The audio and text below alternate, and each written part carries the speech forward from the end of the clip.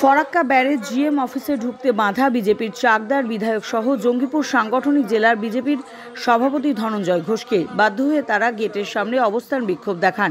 উল্লেখ্য, চলতি মাসে গত সপ্তাহের সোমবার সকাল থেকে মুর্শিদাবাদের ফরাক্কা বাঁধ প্রকল্পের জেনারেল ম্যানেজারের অফিসের সামনে বিজেপি পার্টির পক্ষ থেকে ধর্ণা মঞ্চ করা হয়। ধর্ণা মঞ্চ করার পর ফরাক্কা বাঁধ প্রকল্পের সিআইএসএফ এর পক্ষ থেকে মঞ্চ তৈরি করতে বাধা দেওয়া হয় বলে অভিযোগ।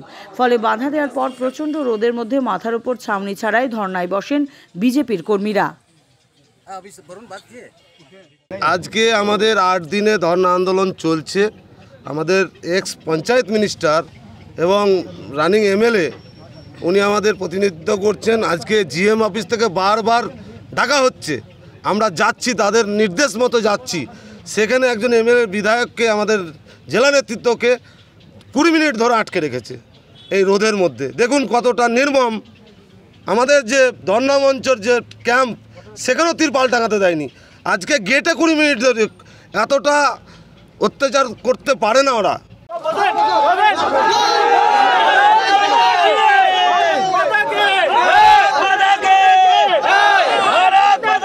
তিনি আজকে আমাদের ডেকেছেন এবং আমাদেরকে ফোনে বললেন যে আপনারা চলে আসুন। আমরা এখানে আসার পরেও এখানে সিআইএফে যারা অফিসার আছেন, তারা আমাদেরকে এখানে আটকে দিচ্ছেন এবং আমরা যখন বললাম আমরা ফোন ধরে রেখেছি এসিজিএমের সাথে, আপনারা কথা বলুন, ওরা আমাদের অ্যালাউ করবে না। অথচ আমরা এখানে দেখেছি বামপন্থী, কংগ্রেস, তৃণমূল, তারা যখন আসে, তারা অনার্সে এখানে ঢুকে যায়, তাদের কোনো প্রবেশাধিকার লাগে না। ফলে এই যে মানে দ্বিচারিতা, এই যে বৈরিতা, এইটা কেন হবে? এই জন্যই আমরা এখানে প্রতিবাদ স্বরূপ এখন এখানে বসলাম, দেখি জিএম কি বলেন। আর সিআইএফের অফিসাররা কি বলেন আমরা ওয়েট করছি।